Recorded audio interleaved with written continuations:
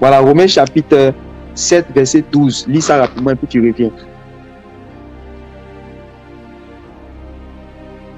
Romains, Romains 7, verset 12.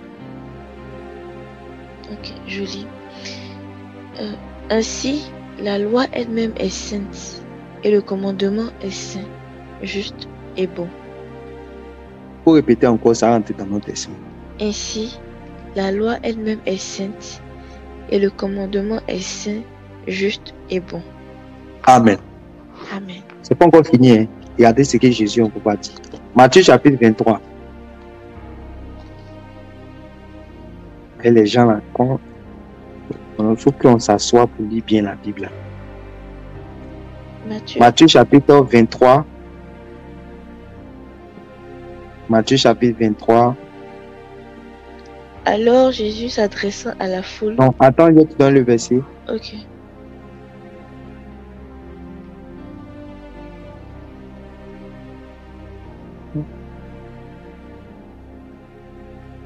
Matthieu chapitre 23.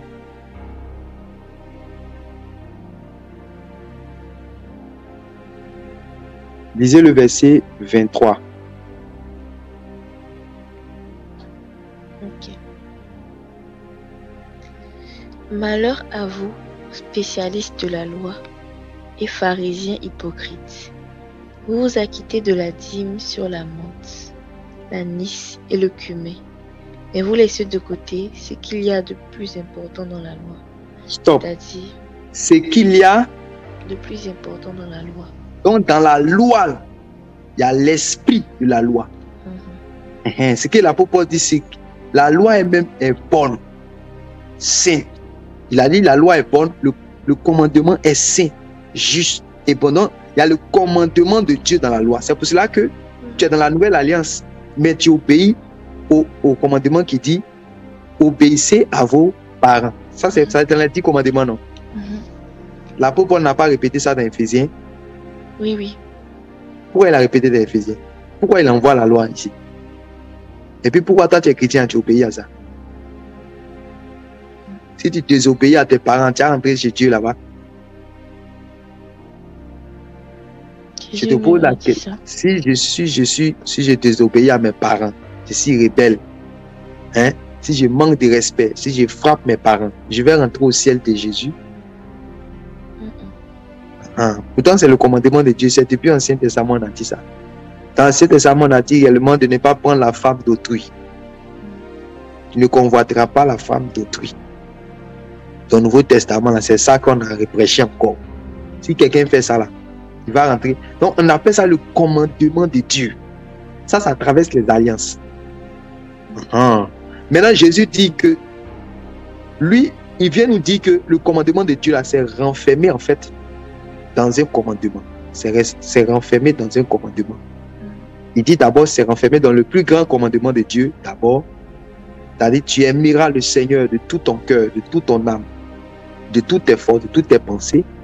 Et il y a un autre commandement qui vient aussi, qui ressemble à ça, qu'on appelle, tu, l'autre commandement, c'est quoi? Je vous donne la parole. Tu aimeras ton prochain comme toi-même. Voilà. Et quand tu lis les dix commandements, là, quand tu lis ça bien, tu vois qu'en réalité, il y a ça dedans. Si tu lis dans l'esprit, tu vas voir que il y a des commandements qui sont tournés par amour pour Dieu, il y a des commandements qui sont tournés par amour du peuple. C'est la même chose. Ça n'a pas changé. Et ça traverse les alliances. Jésus dit que, en fait, c'est renfermé. Nous, là, dans la nouvelle alliance, puisque la loi est écrite dans notre cœur, c'est renfermé. Dès qu'on sait ça, on sait qu'on doit aimer Dieu, on sait qu'on doit aimer notre prochain. Donc, quand tu obéis à tout, réellement, tous les, les, les exhortations, les principes que les apôtres ont donnés, ça renvoie à ça. C'est pour aimer Dieu, pour aimer son prochain. C'était depuis l'ancienne alliance. C'est ça que c'est venu encore dans la nouvelle alliance. Donc, Jésus dit, ce qu'il y a de plus, quoi, important. Maintenant, regardez ce qui est le plus important là. Regardez. Oui, La y a C'est-à-dire c'est-à-dire la justice, la compassion Donc, dans la loi, dans la loi, il y a quoi? Et la justice. Est-ce que, vous- D'accord. est-ce que les gens savent que est-ce que les gens savent que dans la loi il y a la justice? Recherchez premièrement le royaume de Dieu et sa justice, c'est-à-dire que la justice de Dieu, c'était depuis là dans la loi. Ah bon. Oui. La compassion. La compassion. Voilà pourquoi quand ils ont attrapé la femme adultère, les gens, les gens quand ils, ils, voient quelqu'un qui est dans le, qui est hein, dans la faute nette, la première chose nette, c'est de condamner, de tuer la personne. Maintenant, quand tu tues la personne, Dieu lui-même gagne quoi dedans? Je pense que Dieu a dit, Dieu a dit de tuer les, de, de, qu'on appelle ça, de punir hein, les adultères à mort juste parce qu'il a envie de les punir. Non. Il fait ça pour que ça inspire la crainte aux gens. Parce que l'homme, là, il est guidé par deux choses. L'homme, il est guidé par le fait que, euh, c'est-à-dire, euh, on lui dit de ne pas faire, on lui dit de ne pas faire telle chose. Mais aussi, il faut qu'il puisse savoir que s'il fait telle, telle chose-là, il y a telle sanction qui est dedans. Ça va, ça va faire qu'il ne va pas faire. L'homme, c'est Dieu qui est le créateur de l'homme. C'est pour ça même ça, ce sont des choses même qui régissent même hein, la société. Il y a des gens qui ne volent pas parce qu'ils savent aussi que euh, c'est vrai que tu peux être animé d'une bonne éducation, tout et tout, et puis naturellement ne pas ne pas vouloir réellement aller braquer. Voilà. Mais ce n'est pas seulement la bonne conscience que le, braquage est mauvais ou bien le fait de ventrer les gens c'est mauvais, mais aussi de savoir que quand tu vas braquer, quand tu vas éventrer là, on va te mettre réellement en prison.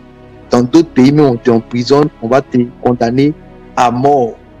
Quand tu sais ça là, l'homme, quand il sait ça aussi là, ça, ça lui permet de rester tranquille.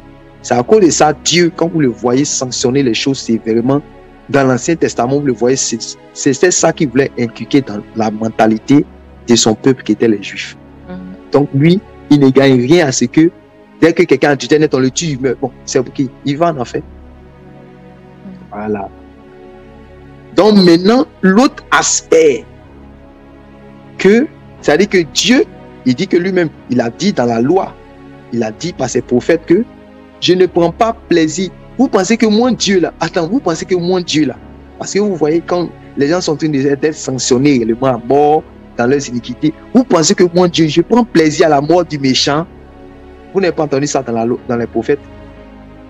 C'était autant de la loi. Hein. Vous pensez, il dit, on envoie ses prophètes et puis il dit, vous pensez que je prends plaisir à la, à la, de voir le méchant mourir pour voir ça dans Ézéchiel chapitre 18 que je veux que réellement le péchant se détourne de ses voies. Je ne prends pas plaisir réellement à sa mort. Donc, quand les, jeunes, les, gens, les juifs ont attrapé la femme dans Jean chapitre 8, il dit, ah, on a attrapé cette femme en flagrant délit d'adultère. Moïse nous a dit de lapider de cette femme. Vous voyez? C'est ça seulement ils connaissent. Moïse a dit de lapider de cette femme, mais ils n'oubliaient pas que dans la loi, il y a ce qui est aussi important qu'on appelle la miséricorde. Maintenant, Jésus dit, Ok. Il commence réellement à écrire. Et puis après, il dit, qui parmi vous là réellement n'a jamais péché? C'était seulement pour les enseigner la miséricorde qu'il les a posé d'abord cette question. Et ils ont vu que eux tous ont été convaincus de pécher. Et Jésus n'est pas en train de dire que la femme là, elle, elle ne, elle ne, comment on appelle ça même, elle ne, elle ne méritait pas d'être condamnée mais c'est lui qui lui a fait miséricorde. C'est lui qui a eu compassion. Dans d'autres versions, c'est que vous disiez compassion là. Ils ont mis miséricorde là-bas. La personne mérite réellement d'être condamnée, mais le Seigneur lui fait grâce. C'est ça. C'est ce qu'il va apprendre aussi à ses disciples. Ah Seigneur, si mon frère a péché contre moi une fois, deux fois, sept fois, combien de fois il doit lui pardonner? Il a dit, il faut lui pardonner sept fois, 77 fois la culture de la miséricorde. Ça, ça fait partie de la nature de Dieu. Donc nous qui sommes enfants de Dieu, nous devons partager cette nature, ou bien nous devons cultiver cette nature-là. C'est clair? Oui, oui. Voilà. Donc, dans la loi, il y a la compassion. Oui, encore? Et la fidélité. Dans la loi, il y a la fidélité. Donc, vous voyez que toutes ces choses-là, et puis il dit quoi? Le Seigneur dit quoi? Voilà ce qu'il fallait pratiquer sans négliger le reste. Donc voilà ça. Voilà ça. Donc, nous revenons maintenant à notre passage. Dans Romains et Acte chapitre 15. Il faut que vous puissiez bien comprendre. Voilà. Donc, c'est de ça qu'il est en train de parler. Donc, euh, c'était, c'était Romains chapitre 7, tu disais, non? Oui. voilà, on a fini de lire dans Romains chapitre 7, c'était le verset 12. Mhm. On a dit que, voilà, la loi, le commandement est juste, saint et bon. Mhm. Voilà. Hmm. Maintenant, continue de lire maintenant dans Acte chapitre 15. Acte 15. Oui, Donc, je reprends. non, où on était? Ok.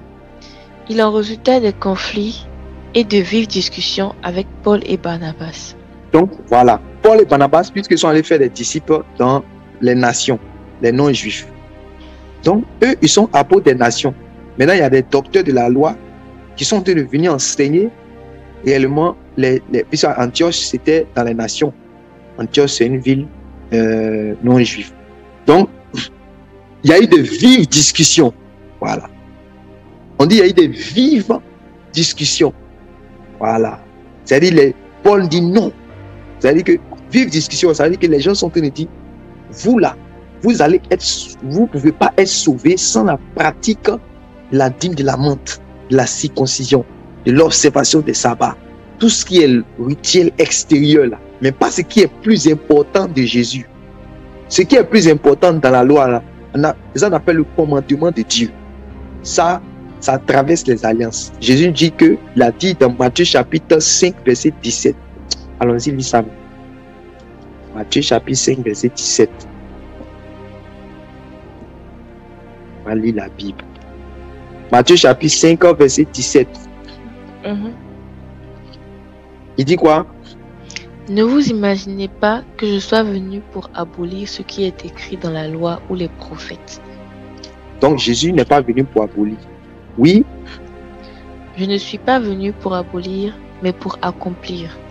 mais je ne suis, je suis pas venu pour abolir, mais je suis venu pour leur donner leur sens. Comprenez Je suis venu pour leur donner leur sens. Continue, continue. Oui, vraiment, je vous l'assure. Tant que le ciel et la terre resteront en place, ni la plus petite lettre de la loi, ni même un point sur un i, n'en sera supprimé jusqu'à ce que tout se réalise. Vous comprenez Jusqu'au renouvellement de toutes choses. On n'est pas encore au renouvellement de toutes choses. Il dit que quelqu'un n'a pas le droit de venir aligner le commandement de Dieu. Ça, c'est Jésus qui a parlé. hein. Mhm. Vous qui croyez, vous qui pensez, les gens qui pensent que Paul, ses paroles sont plus autoritaires que les paroles du Seigneur Jésus. Donc, donc ah bien, Paul même là, il n'a pas, il, il n'a pas, permettez-moi l'expression, il n'a pas, comme on le dit dans notre jargon, il n'a pas erré, il n'a pas cœur. Aucun apôtre n'a cœur de, de, de, qu'on appelle ça, de contredire les paroles du Seigneur. Tout le monde doit s'aligner sur les paroles du Seigneur. Parce que quand on dit apôtre là, ça veut dire envoyé. On dit celui qui est envoyé de Dieu là, lui il doit dire les paroles de Dieu. Si Jésus t'a envoyé, tu répètes. Tu es un répétiteur des paroles de Jésus. Tu ne peux pas venir dire le contraire. Les paroles du Seigneur sont les plus pesantes. Donc vous devez vous asseoir dans les évangiles. Hmm. Ah, Seigneur Jésus. Oui, continue. Par conséquent, si quelqu'un n'obéit pas, ne serait-ce qu'à un seul de ses commandements, Vous comprenez, non? Commandement. Un seul de ces commandements, les commandements de la loi, ce qu'ils sont en train de parler là. Oui, même s'il s'agit du moindre d'entre eux, et s'il apprend aux autres à faire de même, il sera lui-même considéré comme le moindre dans le royaume des cieux.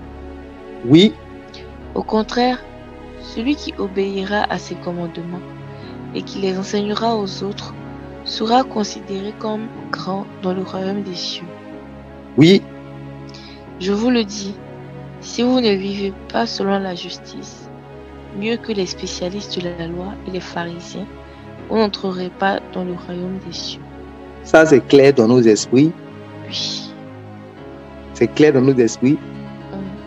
C'est le maître même qui a parlé. Ça c'est pas, c'est pas euh, un enseignement, une dissertation, on va développer. Le Seigneur, le Seigneur, il n'est pas dans le développement. hein. Quand lui parle, il est la parole faite chair. Donc lui n'est pas dans développer, expliquer, faire dissertation. Non, c'est pas épître. Il te dit. Il dit ce qu'il dit les paroles. Voilà. Voilà. Est-ce que quand le Seigneur lui-même a enseigné les gros mots que les gens donnent, imputation, glorification, justification, il n'est pas dit que c'est mauvais de dire, il n'est pas dit que c'est mauvais. Mais est-ce que vous l'avez vu faire tous ces, choses-là? Non. Lui te parle. Si votre justice ne surpasse pas celle des pharisiens, alors sachez que vous n'allez pas rentrer dans le royaume des cieux.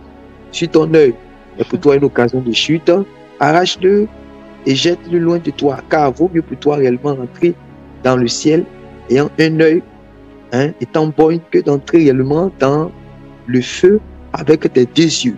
Quand il finit de parler, ça va. C'est fini. Maintenant, toi qui as des oreilles pour entendre, tu comprends et puis tu mets en pratique. C'est fini. Mhm. Quand nous enseigne, on enseigne comme ça, on nous appelle légaliste. Donc le premier légaliste là, c'est Jésus. Parce que Jésus savait que dans la loi, il y a ce qui est important. Mais les gens, la loi même là, c'est comme un déchet. Quand ils entendent loi, c'est comme déchet. Jésus dit, dans la loi, il y a ce qui est important qu'on appelle les commandements de Dieu. Un jour là, même, c'est parce qu'on n'a pas le temps. Sinon, vous allez savoir que ceux que le diable guette, ceux qui sont véritablement les ennemis du diable, les vrais chrétiens, c'est ceux qui ont le commandement de Jésus, qui ont, qui ont le témoin de Jésus et les commandements de Dieu. C'est un apocalypse. C'est écrit trois fois là-bas. Ceux qui ont le commandement de Dieu et qui ont le témoin de Jésus. Il faut bien comprendre cela. Donc, allons-y dans notre passage de Acte chapitre 15. On a presque fini. Acte, chapitre. Oui. Finalement, il fut décidé. Non. Euh, oui. Le verset 2. Il en résulta un conflit et de vives discussions avec Paul et Barnabas. Finalement, il fut décidé que Paul et Barnabas monteraient à Jérusalem avec quelques autres frères pour parler de ce problème avec les apôtres et les responsables de l'Église. Vous comprenez cela, non?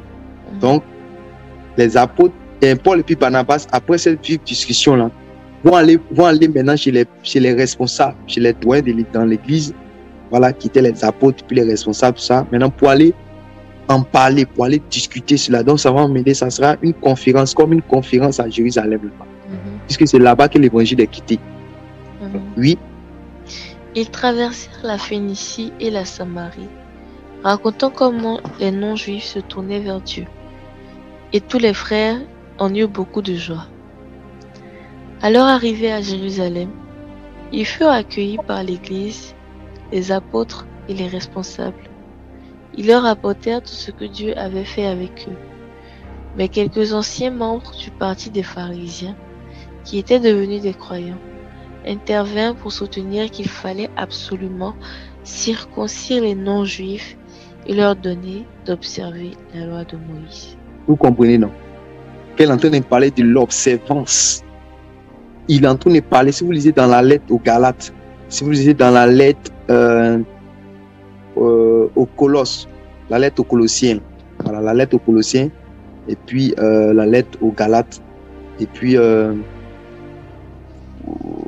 comme on dans Timothée aussi, il va parler en fait des docteurs de la loi qui viennent avec l'observation des jours, l'observation des sabbats, des des nouvelles lunes, la circoncision, ces genres de choses extérieures là, c'est ça.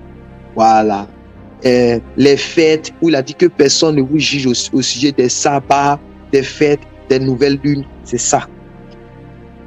Voilà, de la circoncision, c'est ça. Donc c'est dit que quand les gens réellement vont faire cela, c'est en cela qu'ils seront sauvés. Sinon, même s'ils ont cru au Seigneur Jésus, ils ne seront pas sauvés. Donc, ils sont en train de tirer les non-juifs d'un côté.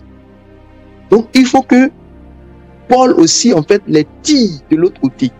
Donc, c'est entre ces deux, c'est dans ce tiraillement-là que maintenant, voilà, Paul, comme vous allez le voir parler, en tout cas, c'est comme quelqu'un qui a une sainte colère contre réellement cette manière de euh, ajouter une œuvre réellement euh, supplémentaire, une œuvre, une œuvre. Et cette œuvre-là, ce n'est pas autre, ce n'est pas une autre œuvre que euh, les, rituels de Moïse. Ce n'est pas le commandement de Dieu, je vous en supplie. Ce n'est pas le commandement de Dieu. Le commandement de Dieu participe à ton salut. Le commandement de Dieu, euh, l'obéissance au commandement de Dieu est une preuve réellement que tu es devenu enfant de Dieu. C'est bon devant Dieu, c'est juste, c'est saint. Donc, dans ce tiraillement-là, comme je le disais, l'apôtre Paul maintenant va commencer réellement à taper dur pour dire aux Juifs que réellement ce n'est point par les œuvres, c'est de ça qu'il parlait. Ce n'est point par les œuvres là, c'est de ça qu'il parlait. C'est ce qu'on entend de voir ici là, c'est ça qu'il parle. Oui?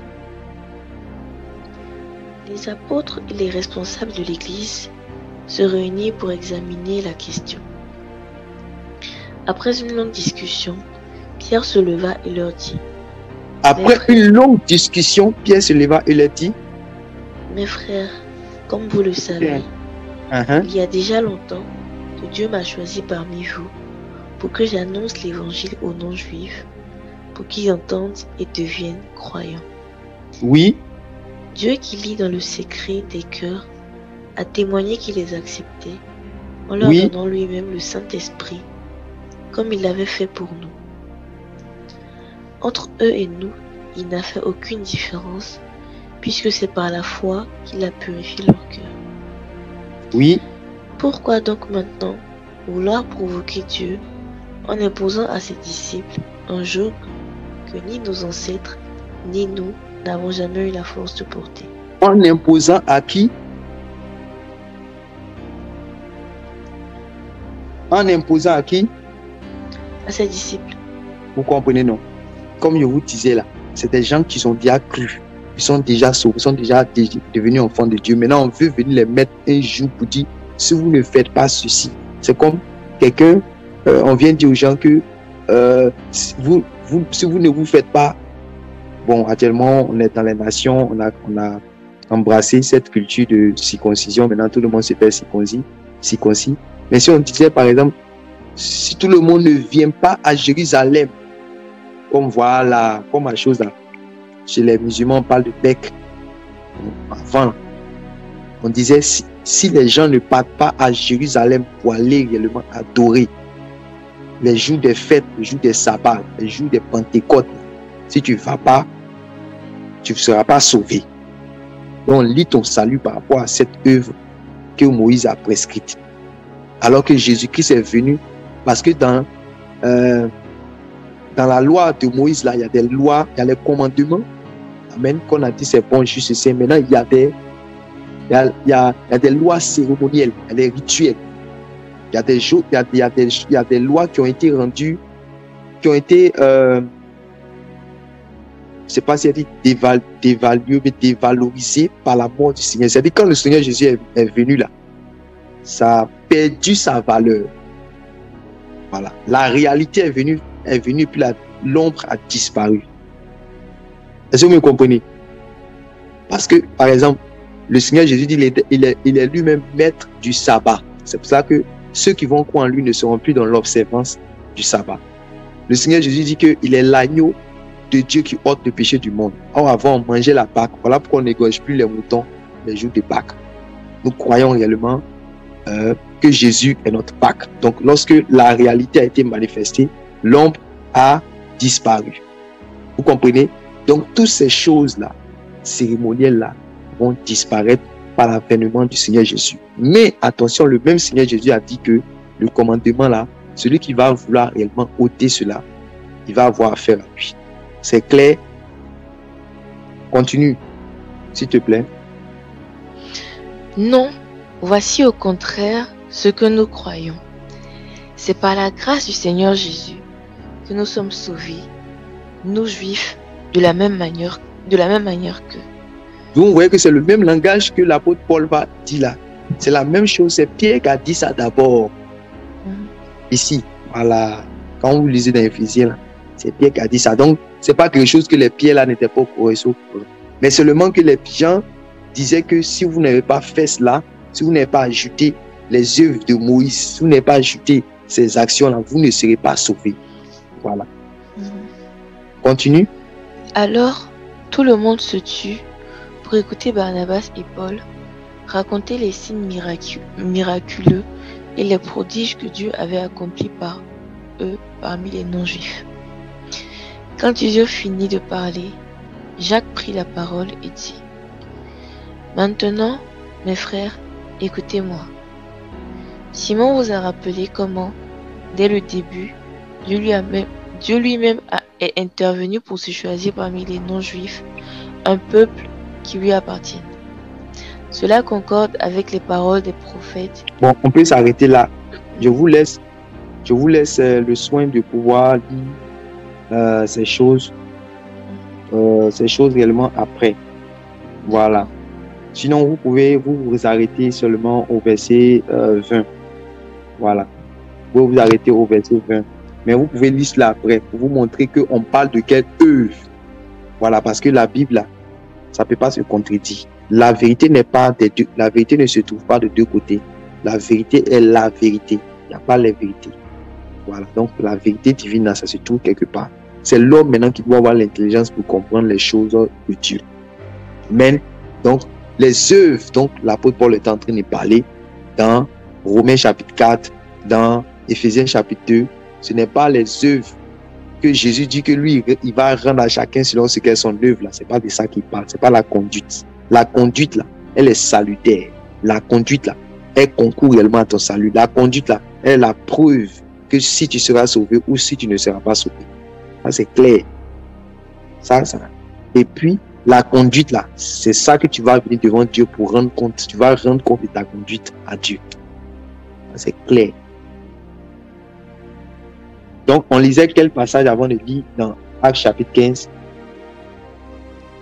C'est dans Romains chapitre était 2, dans c'est ça Romains, Romains, là on était dans Romains 7.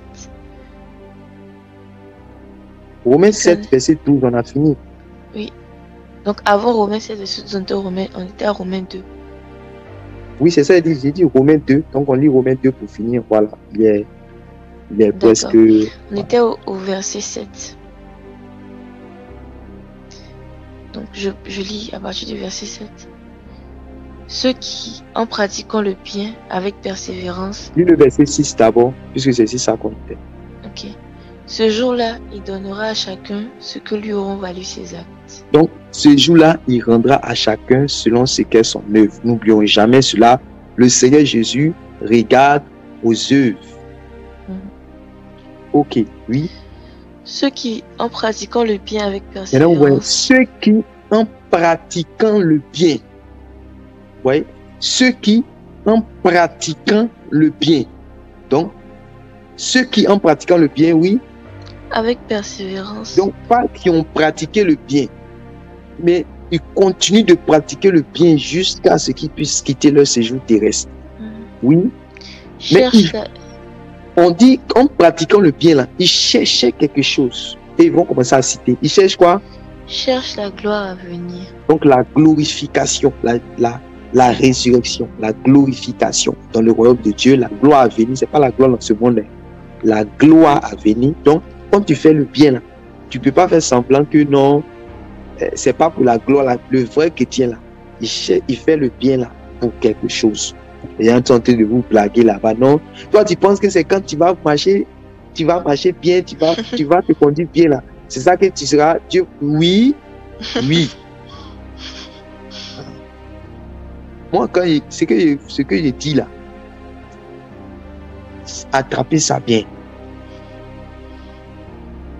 Attrapez ça bien. Non, c'est que eh, vous pensez que c'est quand vous allez faire ça là, ça vous allez mériter, vous allez avoir, si vous pensez que c'est quand, mais les gens lisent quelle Bible. Faut lire, faut lire passage, faut lire. Ceux qui, en pratiquant le bien avec Ceux qui, en persévérance, pratiquant le bien avec persévérance, cherchent la gloire à venir. ils cherchent. Toi, tu dis, tu cherches pas. Tu veux te jouer les hypocrites. Moi, je cherche. L'honneur Oui. Et Oui. l'immortalité. Donc, ils cherchent la gloire à venir. Ils cherchent l'honneur. Ils cherchent à être honorés. Ils cherchent aussi quoi? L'immortalité. L'immortalité, vous savez, c'est quoi? La résurrection. Cherche l'immortalité, la vie éternelle. Oui, tout ça, c'est le même langage. Tout ce qu'il va dire, les, les mêmes expressions qu'il a dit là, c'est le même langage. Oui. Recevront de lui la vie éternelle. Ah Recevront de lui la vie éternelle. Donc tu ne peux pas dire que tu ne te conduis pas bien pour la vie. Eh, tu ne te conduis pas, tu te conduis, je ne sais pas, quelqu'un peut m'aider l'expression là, méchant. Je ne sais pas comment il a lié ça. Tu te conduis mal? Non, faut, mais faut suivons bien. Tu ne peux pas y a d'autres qui disent que vous pensez que vous allez vous conduire, puisqu'ils dit, puisqu'ils ont pensé que quand Paul dit ce n'est point par les œuvres, afin que personne ne se glorifie. Donc, ils disent, ils disent que quand toi tu places ta foi en Jésus, maintenant les actes que tu poses là, d'autres même vont dire que non, ça c'est juste pour avoir, pour être en bonne relation avec les gens, pour être en bonne santé, pour avoir certaines bénédictions sur la terre, mais ça n'a aucun impact sur ton propres que ce n'est pas par ta propre, ce n'est pas par ta conduite, pas force même, force, ce n'est pas par ta conduite, pas par ton comportement que réellement tu vas rentrer dans le royaume de Dieu. On dirait qu'ils n'ont jamais lu ce verset-là. Ils n'ont jamais lu.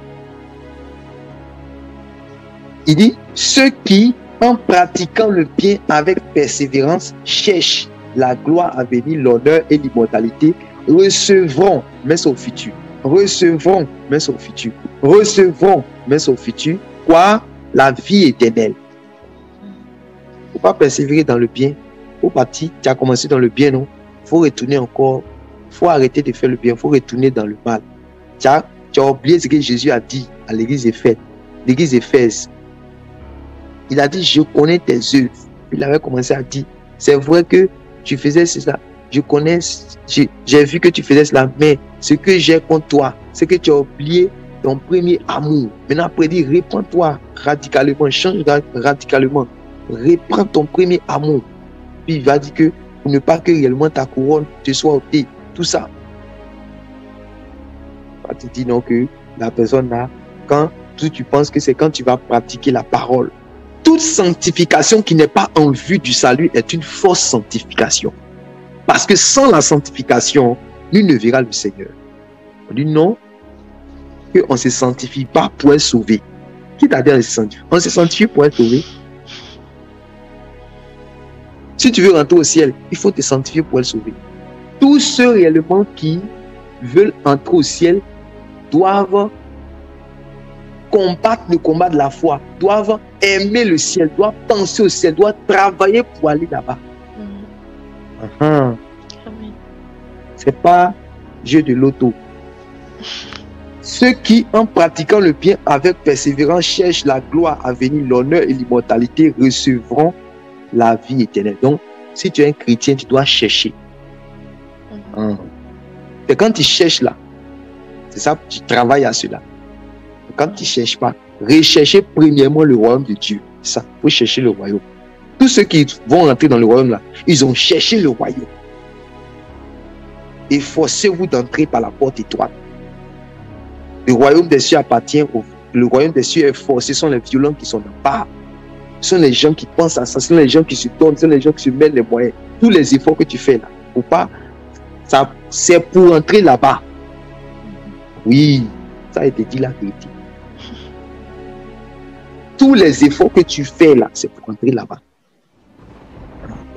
Là, tu veux, les gens veulent se blaguer. Non, c'est quand tu, tu penses que c'est quand tu vas. Tout ce que tu fais, tout ce que tu fais là, c'est pour la finalité là, c'est là-bas. En fait, les gens pensent que le salut, c'est le bas de la vie chrétienne. Or, le salut est la finalité de la vie chrétienne. Voilà. Les gens pensent que la finalité est le bas hein, de la vie chrétienne.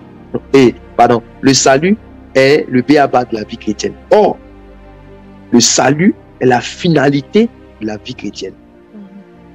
Mhm.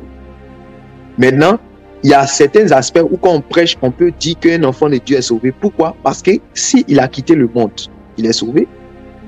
Quand les enfants d'Israël réellement sont sortis réellement de l'Égypte, si tu n'as pas lu toutes les autres histoires qui sont passées après, si toi tu arrêté au, au fait que les enfants d'Israël sont sortis également de l'Égypte, ils ont traversé la mer rouge, dit ils sont perdus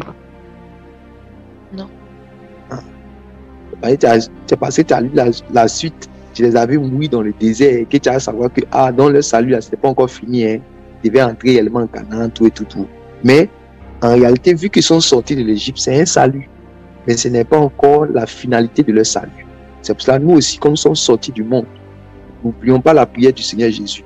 Je ne te prie pas de les ôter du monde, mais je te prie de les garder. Garde-les par quoi?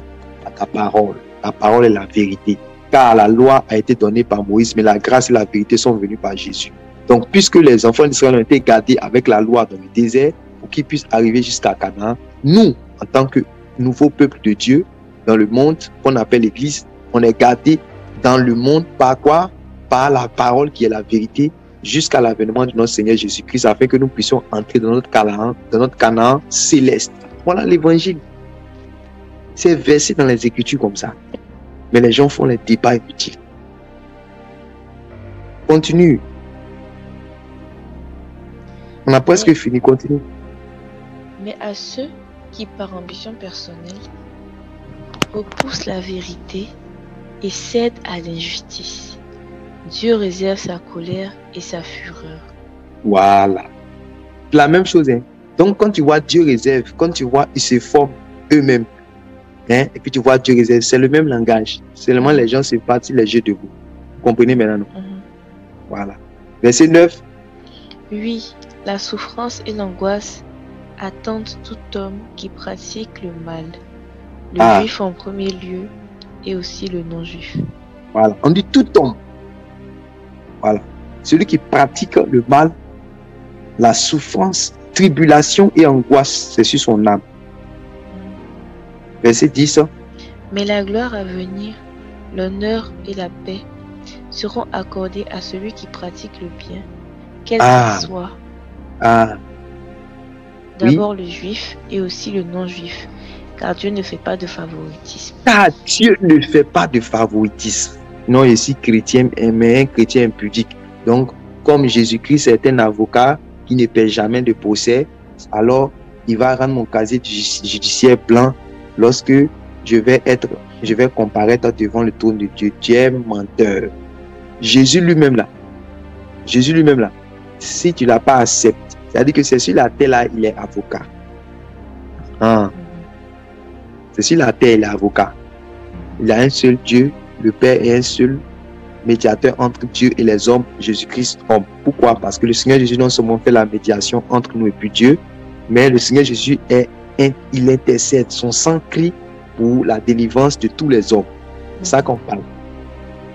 Donc, c'est comme un avocat. Il dit que tous ceux sur qui la colère de Dieu doit tomber parce qu'ils ont péché, mais le sang de Jésus est versé pour eux afin que la, la colère de Dieu soit apaisée, afin que euh, ils soient rachetés. Ces gens-là qui sont ennemis de Dieu doivent deviennent maintenant rachetés pour Dieu son Père. Mhm. Voilà. Donc c'est ici qu'on parle d'avocat. Mais après là, c'est terrible. Hein. Celui qui est est l'agneau là, il va devenir lion maintenant. Il va s'asseoir sur le trône pour juger. Son visage est comme le feu. C'est Dieu qui est devant toi.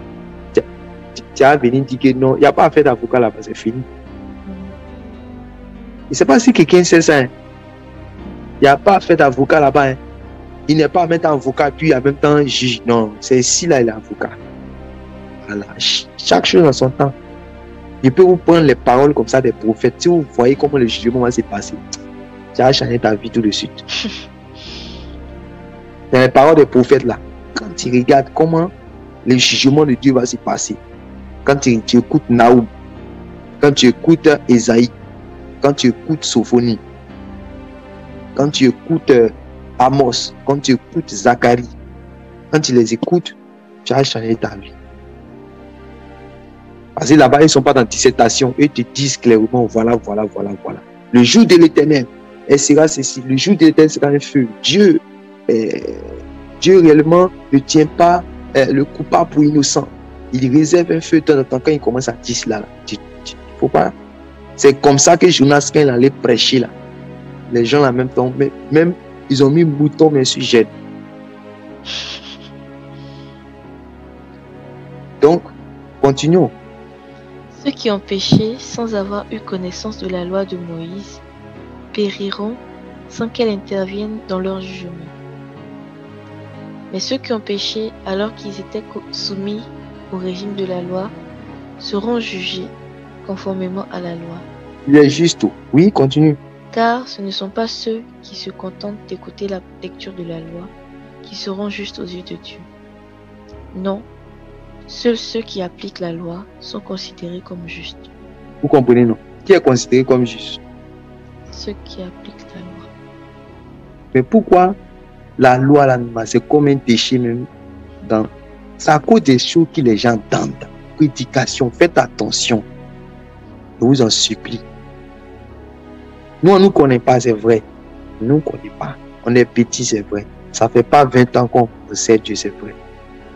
Mais là, si c'est les paroles du Seigneur que nous disons, alors croyez pour que vous puissiez certifier Dieu, vous pouvez certifier que Dieu est vrai dans votre esprit et dans tout votre être.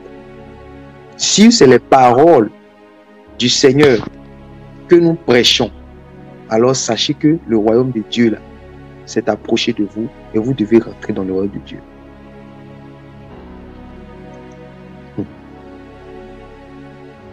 Car ce ne sont pas ceux qui se contentent d'écouter la lecture de la loi qui seront justes aux yeux de Dieu.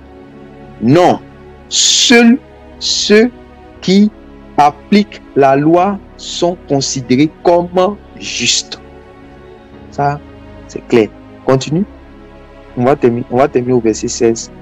En effet, lorsque les païens qui n'ont pas la loi de Moïse accomplissent naturellement ce que demande cette loi, ils se tiennent lieu de loi à eux-mêmes, alors qu'ils n'ont pas la loi. Ils démontrent par leur comportement que les œuvres demandées par la loi sont inscrites dans leur cœur. Leur conscience en témoigne également, ainsi que les raisonnements par lesquels ils s'accusent ou s'excusent les uns les autres. Verset 16, on termine avec ce verset. Tout cela paraîtra le jour où conformément à l'évangile que j'annonce. Conformément à l'évangile que j'annonce. Dieu jugera par Jésus-Christ tout ce que les hommes ont caché. Es-tu un homme? Es-tu un homme? Oui. Ok. Donc, il dit, tout cela paraîtra le jour où, conformément à l'évangile, donc c'est conforme à l'évangile, que lui, Paul, il annonce. Dieu jugera par Jésus-Christ. Et c'est ce qu'il a dit dans Acte chapitre 17. Ce que, et c'est ce que je vous ai dit. Que Jésus ne sera pas avocat. Jésus ne sera pas avocat de quelqu'un là-bas. Jésus sera assis sur le trône. Jésus n'est pas, c'est lui qui est assis sur le trône, le juge, le juge là, c'est Jésus qui sera assis. assis. C'est pas qu'il y a Dieu, et puis Jésus à côté, il est là, Dieu lui est là, tu dis, euh, toi, vous entendez une voix qui va dire, en fait, puis Jésus va dire, non, Père, c'est, non, c'est ici là, c'est ici a fait ça, c'est la terre, c'est là son sang là, c'est ça, ça joue ce rôle là. Mais, quand ils vont dire, au dernier jour, vous disiez dans Acte, on dit Dieu va juger les hommes par l'homme qu'il a établi. Donc, c'est ça il a dit ici encore. Donc, Jésus assis sur le trône et puis juge. C'est ce qu'il a dit. Il dit, toutes les églises sauront que c'est moi qui sont les cœurs et les reins. Mhm. Je vais rendre à chacun selon ce qu'est son œuvre. Mhm. Que celui qui a des oreilles entende ce que l'Esprit dit. Quand il parle comme ça, il est en train de dire que, ah, en tout cas, si, tu es humble, faut comprendre, si tu n'es pas humble, c'est terminé pour toi. Dieu jugera par Jésus-Christ tout ce que les hommes ont caché toutes les actions secrètes des hommes. C'est écrit dans la Bible. Donc, sur ce, que le nom du Seigneur soit